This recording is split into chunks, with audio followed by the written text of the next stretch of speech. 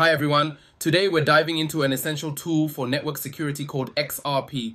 If you've ever worried about someone intercepting your data or hacking your network, this video is for you. We'll explore what XARP is, how it works, and how you can use it to protect your devices from ARP spoofing attacks. So what is XARP? So what exactly is XARP? XARP stands for Extended Address Resolution Protocol.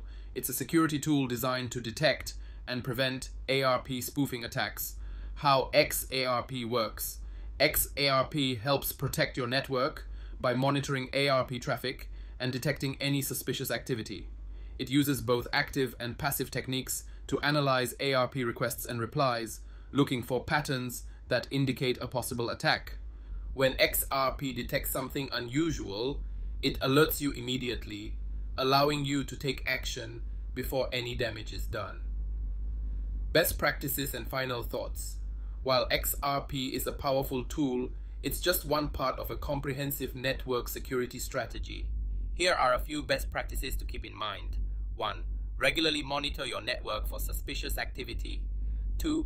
Use strong, unique passwords for your Wi Fi network. 3. Keep your router and all connected devices updated with the latest firmware.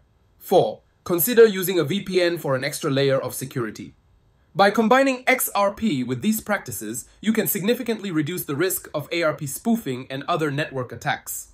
Thanks for watching. If you found this video helpful, don't forget to give it a thumbs up for more tips on keeping your digital life secure. Also, if you're interested in diving deeper, I've written two articles that you might find useful. 1. How to use XARP to detect and prevent ARP spoofing attacks on your computer. 2. How to stop a confirmed ARP spoofing attack using Kali Linux. You can find the links to these articles in the first comment below this video. They include all the necessary commands and detailed information to help you further secure your network. If you have any questions or want to share your experiences with XARP, drop a comment below. Stay safe and I'll see you in the next video.